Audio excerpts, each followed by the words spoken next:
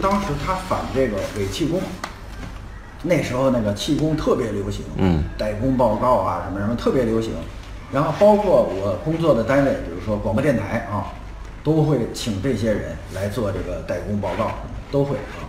这时候我就发现这个司马南这个人，是别人别人给我们介绍认识的，他是反对这个，反对这个我就我很好奇呀、就问他说你为什么反对？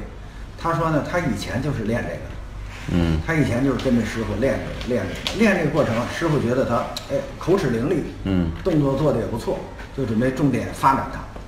那么师傅就把这内幕都告诉他，他一听哦，这他妈是骗局，嗯没有什么呃这这个真正的什么开开天眼什么的，他他觉得是骗局啊，嗯然后他就站出来就揭露这个事儿，我觉得挺好的，这这算是个汉子啊，嗯然后我就支持他。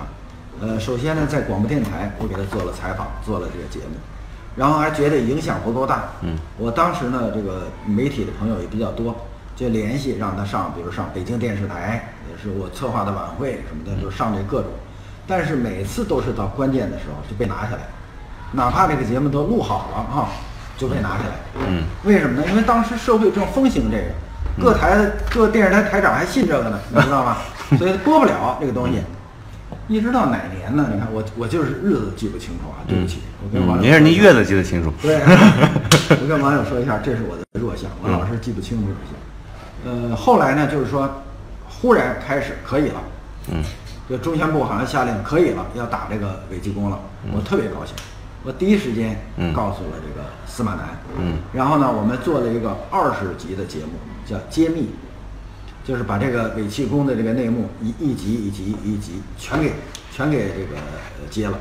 呃我记得好像也有方舟子参加这个节目，都有，还有刘冰、刘华杰，呃，江，呃好多人，反正嗯这个这个好多人都参加了。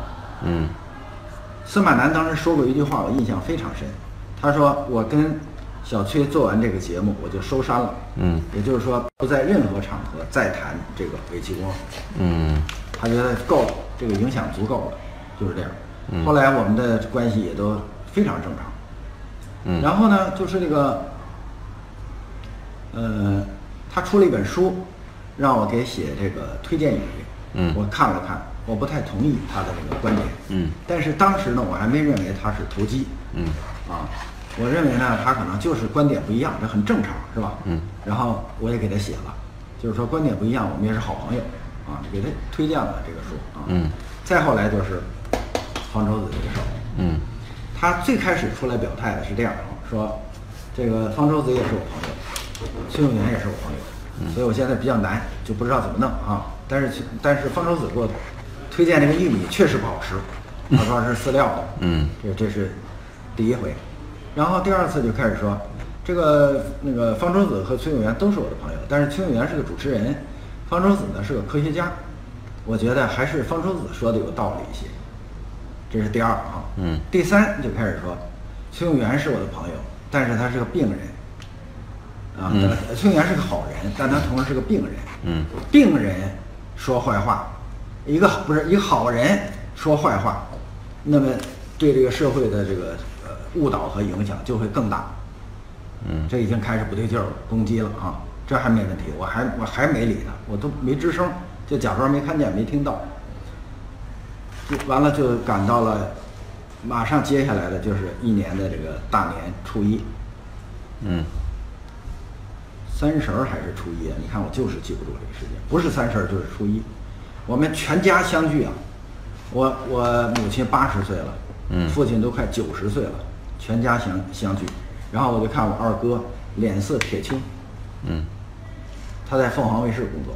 嗯然后我说怎么了？出什么事儿了？然后他就让我看手机上，我一看，呃，司马南、方舟子弄了一帮人批批我，你批我，你驳我的观点也没问题，但是我觉得啊，你批我驳我的观点也应该躲开这个日子，万家团圆是吧？要躲开这个日子，但是他批的驳的也不对，你知道吗？他就说他有病，啊，他这个这个这个发抑郁症了，就是刚才我说的那个最难听的那个话，嗯他这发病了，所以你就不要把他那个这个当回事儿啊。他自己还不觉得他自己发病，所以他什么，然后还还其中还有一个解放军，嗯操他妈的啊！那个解放军是个医生啊，说我看他的脸色，看他的眼神儿就知道他在撒谎。他说我嗯，他是什么吃个医生，了解放军？操他妈的！我到现在还没还没找这个人呢，嗯我不会放过他的。嗯然后从那个时候我就跟这个这个司马南翻脸了，嗯因为我那时候打电话他也不敢接，因为我觉得太过分了，这个是吧？嗯你怎么能这样啊？我操！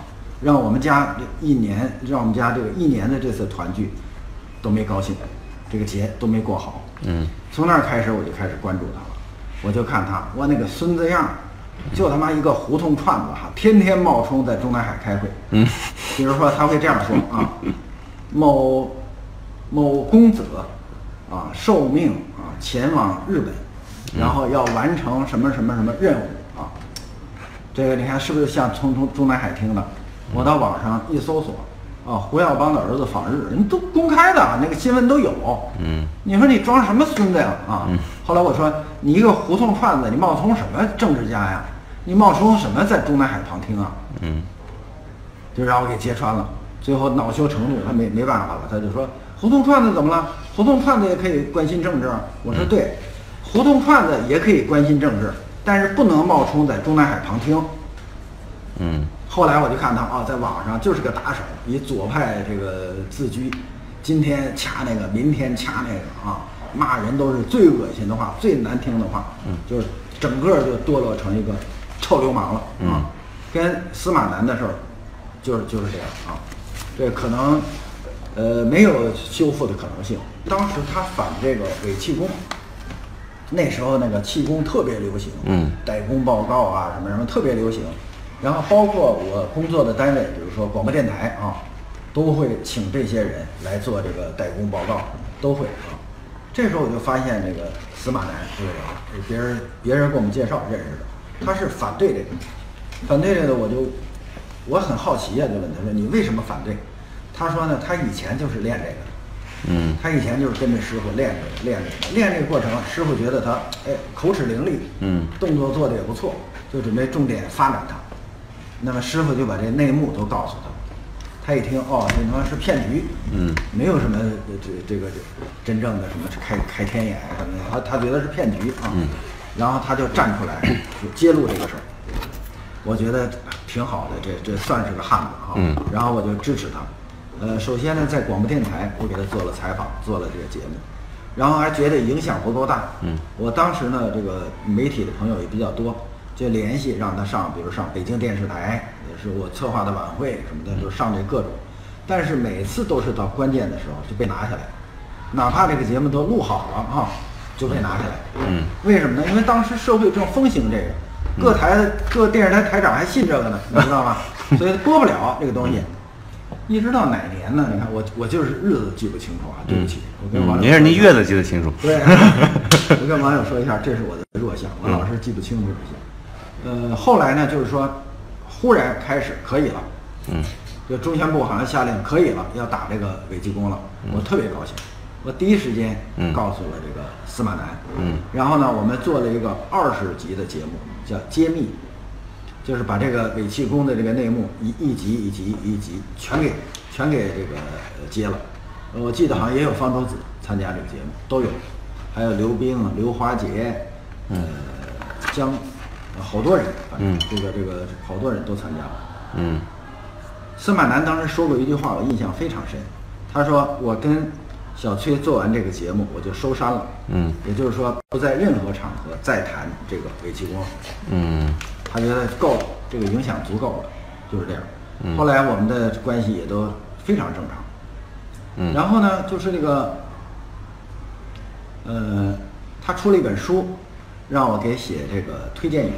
嗯我看了看，我不太同意他的这个观点。嗯但是当时呢，我还没认为他是投机。嗯啊，我认为呢，他可能就是观点不一样，这很正常，是吧？嗯。然后我也给他写了，就是说观点不一样，我们也是好朋友啊，给他推荐了这个书啊。嗯。再后来就是方舟子这个事儿，嗯他最开始出来表态的是这样啊，说这个方舟子也是我朋友，崔永元也是我朋友，所以我现在比较难，就不知道怎么弄啊。但是但是方舟子给我推荐这个玉米确实不好吃，他说是饲料的，嗯这这是第一回，然后第二次就开始说，这个那个方舟子和崔永元都是我的朋友，但是崔永元是个主持人，方舟子呢是个科学家，我觉得还是方舟子说的有道理一些。这是第二啊。嗯。第三就开始说，崔永元是我的朋友，但是他是个病人。啊，崔永元是个好人，但他同时是个病人。嗯。病人说坏话，一个不是一个好人说坏话，那么对这个社会的这个呃误导和影响就会更大。嗯。这已经开始不对劲儿了，攻击了啊！这还没问题，我还我还没理他，我都没吱声，就假装没看见、没听到。就完了，就赶到了，马上接下来的就是一年的这个大年初一。嗯。三十儿还是初一啊？你看我就是记不住这个时间，不是三十儿就是初一。我们全家相聚啊！我我母亲八十岁了，嗯，父亲都快九十岁了，全家相相聚。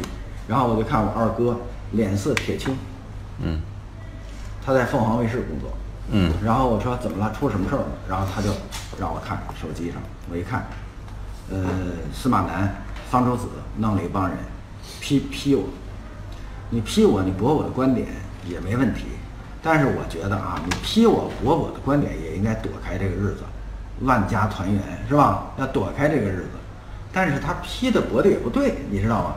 他就说他有病，啊，他这个这个发抑郁症了，就是刚才我说的那个最难听的那个话，嗯，他这发病了，所以你就不要把他那个这个当回事儿啊，他自己还不觉得他自己发病，所以他怎么，然后还其中还有一个解放军，嗯，操他妈的啊，那个解放军是个医生啊，说我看他的脸色，看他的眼神儿就知道他在撒谎，他说我，嗯，他是什么个医生，鸡巴解放军，操他妈的，我到现在还没还没找这个人呢，嗯我不会放过他的。嗯然后从那个时候我就跟这个这个司马南翻脸了，嗯因为我那时候打电话他也不敢接，因为我觉得太过分了，这个是吧？嗯你怎么能这样呢？我操！